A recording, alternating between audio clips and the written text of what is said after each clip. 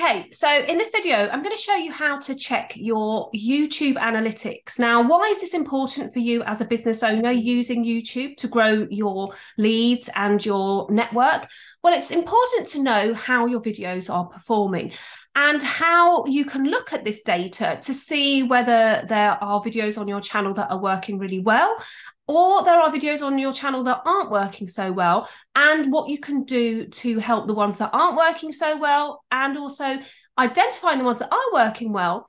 Ask yourself can you actually do more videos like that to bring more people to your business and raise more awareness the best thing for me to do is to show you number one, how to find your analytics for your YouTube channel on the desktop first. And then I'm going to jump over to my iPhone and show you how to find the analytics inside the YouTube Studio, which is one of YouTube's apps that you can download for free onto your phone. Okay, so let's just jump into my screen share and I'll show you how to find where your analytics are. Now, a lot of people who have a YouTube channel don't tend to know where to find analytics. Now, this video is not going to go deep into each level of analytics. I just want to show you how you can find month on month what's going on with your channel. Quickest way is to go to your channel on YouTube and then click your icon here on the top right and go to your YouTube studio. Your YouTube studio is where most of the information will be found. As you can see, you get a quick snapshot of your channel as soon as you open your channel up. You get what's known as your latest video information, you get your sort of current channel subscribers, a summary of what's been happening, the top videos in the last 48 hours. You also get on the right here some access to some news, there's some ideas for you, and so on and so on. Let's look at your analytics. So Obviously, there's a snapshot here, but the best place to look for your analytics is to come down here on the left hand side and go to the analytics tab. Now, this will give you a much more um, in depth view. And the first thing you want to do is to decide what viewpoint do you want to look at. So it is default, it will go to the last 28 days. If, like me, you've been doing something in December, maybe Vlogmas or trying to upload a video every day, you might want to see whether you just get December. So, to do that, all you need to do is you need to come over to this drop down here and you can either go um, custom, which means you put in the date, or it handily gives you December. So this video has been recorded in December 2022. This is the 31st December, but obviously this type of data that I'm sharing with you in this video is timeless and you can actually go and have a little look at it yourself. So in December, my channel had 16,300 views. And as you can see, if you hover over it, it tells you what that means. Channel views compared to the previous period over time. This can help you spot high performing videos, anticipate cha- seasonal changes, and determine whether to upload new videos. This includes your public videos, your private, unlisted, and deleted videos. If you upload a video to your YouTube channel and you keep it private, who's going to see it? The whole idea of using YouTube as a business owner is to raise your brand awareness. And to do that, your videos need to be on public so that everybody can see them. So let's just jump back in and um, let's have a little look. Watch time, if you hover over it, is your channel watch time compared to the previous period, how many subscribers you had over a period of time. And for me, because my channel's monetized, how much money they think I'll be earning in that period of time.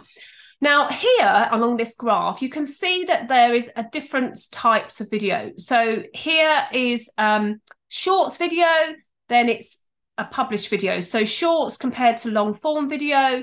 And you can see I've been doing two videos every other month, every like a week, sometimes three, depending on what I had to share. And of course, you can see along here whether I missed a day. I actually just missed one day. That's all this week, this month.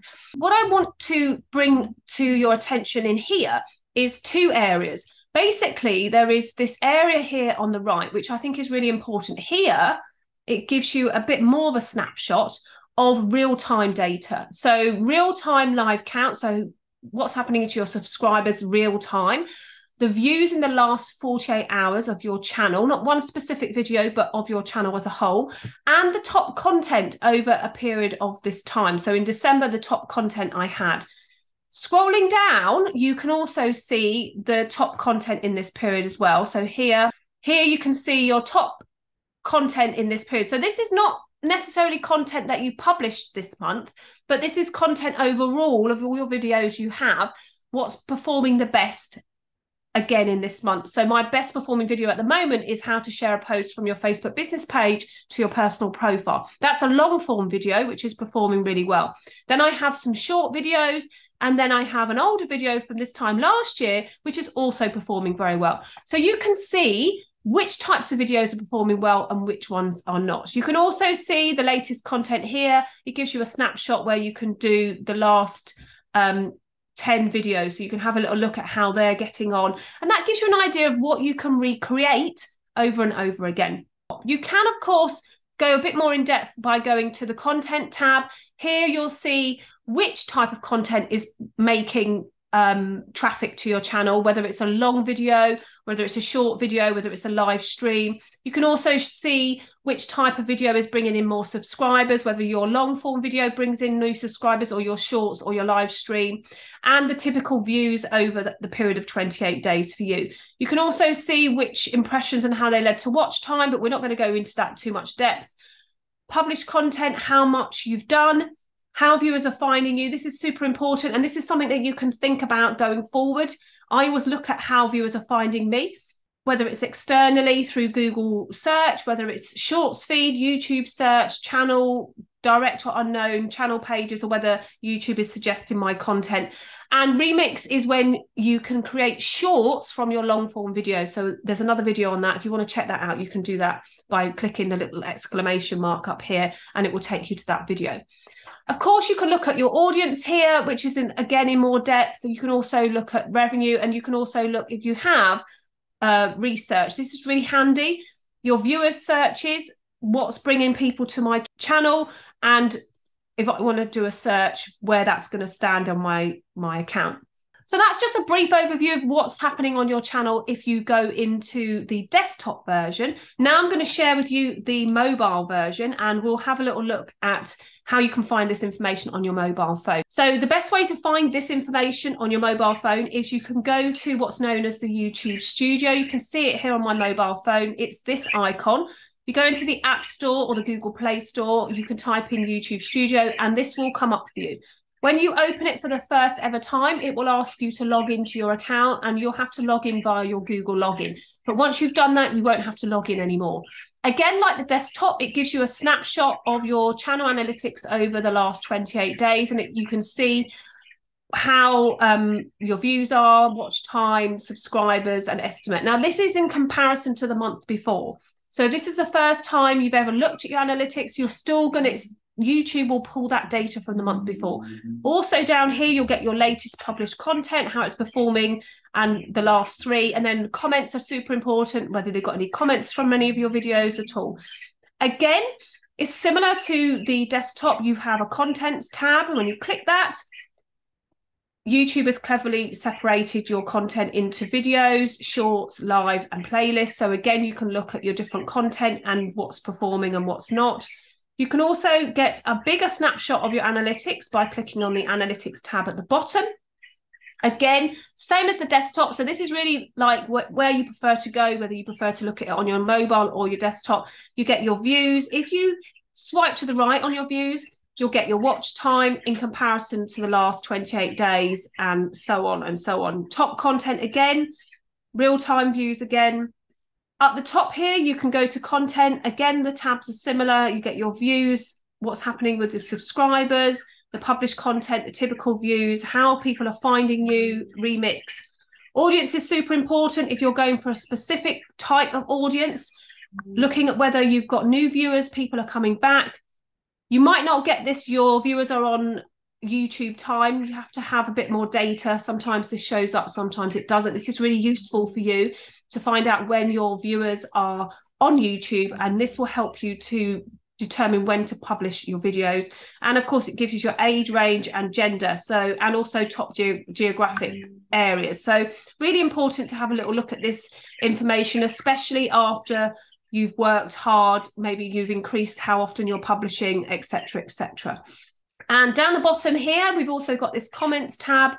This is really good so that you can keep on top of the comments that are coming to your channel so that you can make sure that you've liked them, um, you've hearted them and you've replied to them as well if you want to. So you can you can do all of these sorts of things um, really easily from within the app, which is super useful. It's really important to reply to your comments, but that we'll talk about in another video.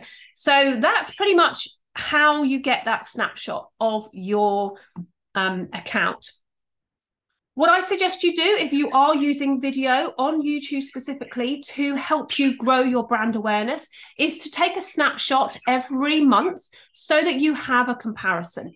It's really good for you to see when you're looking through your phone or your pictures on your desktop how easily it is to see how the growth is happening and also whether by adding more videos a month you get more subscribers or you get more watch time has adding more videos a month led to more discovery calls with you? Has it led to people reaching out to you? Has it led to an increased traffic on your website? All those sorts of things can be determined by the data that you get from your analytics inside of YouTube. My name is Anita Wong, and I'm a YouTube and video marketing expert specifically aimed at helping other entrepreneurs age 40 plus to actually build their business using YouTube. My myself i'm 50 and i'm 51 in 2023 and i use youtube as the, the starting point for all my content when it comes to growing my business. So it's something that i'm very passionate about helping others to do. So if you want to learn how i can help you grow your business using video then just hit that discovery call link in my description and I will be happy to have a quick call for you for free to determine whether I can help you with any of my services. If you have any questions about this video and looking at your analytics, then don't forget to um, drop them in the comments. And if you want to learn more about using video marketing to build your business, then hit that subscribe button, give me a like, and of course, share away. Have an amazing start to the new year. And if you're watching this at another time, have a great day, and I will see you in the next video.